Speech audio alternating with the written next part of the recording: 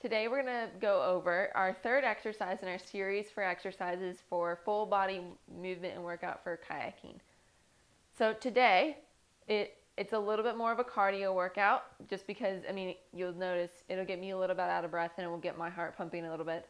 This is a little bit more challenging of an exercise.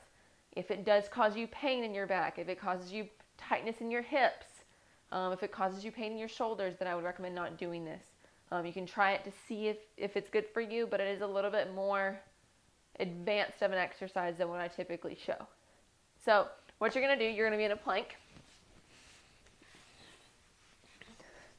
And then what you're going to do is you're going to move hands forward and hands back. It's a little bit of a plank walk for it. How you make this harder and more challenging for the full body is you lift one leg.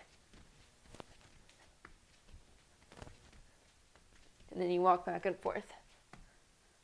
And then you lift, obviously, the other leg. That gets a lot of rotational movement. It gets a lot of trunk control. As you can see, I'm a little out of breath from that. It also gets your shoulders using. So you know how to weight bear for shoulders. You know how to move those guys even under load. Um, if you have questions on a little bit more of how to do this exercise, let me know. I can pop in another video later. Um, make sure that you really utilize those those lower abdominal muscles. And whenever you lift your leg, it's not that you're trying to lift it soaring high. It just it's basically that it's just off the ground. Doesn't need to be lifted high.